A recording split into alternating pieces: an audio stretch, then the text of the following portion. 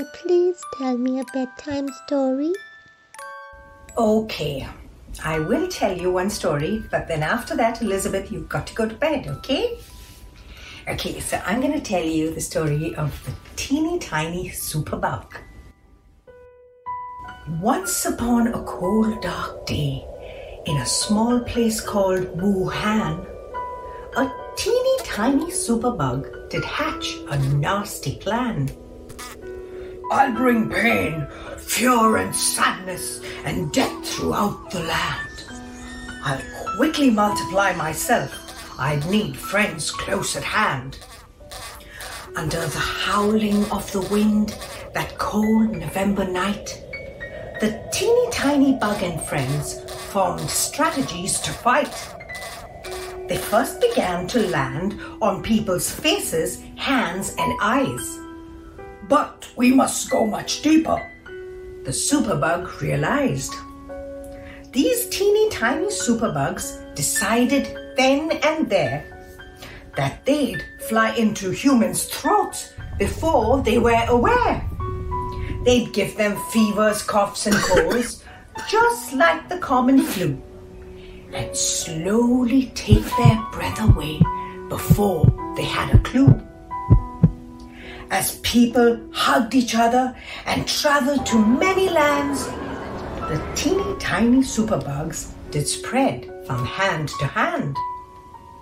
The scientists and doctors cringed, cause never had they seen a teeny tiny superbug so ugly and so mean. They sent warnings to all countries. Help us fight this disease. Wear masks Wash face and hands. Cover your mouth if you should sneeze. They soon enforced all travel bans. No crowds of three or more.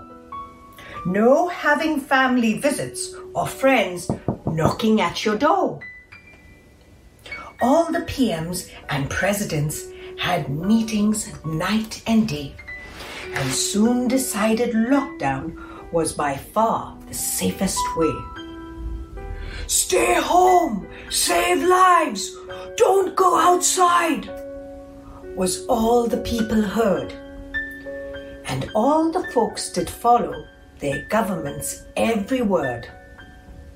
But sadly, bugs had spread throughout the world and caused much grief. As people died in thousands, hospitals had no relief. At last the bugs were happy and partied on a tram and laughed at what would happen to this isolation plan. They sniggered. Dads will drink and fight with mums and kids all day. And kids would cry and scream because they can't go out and play. Instead, they stayed indoors, played games, baked cakes and painted charts, played dumb charades, did gardening, and in windows they hung hearts. A thousand million video chats connected people's homes. And soon the old folk and the singles never felt alone.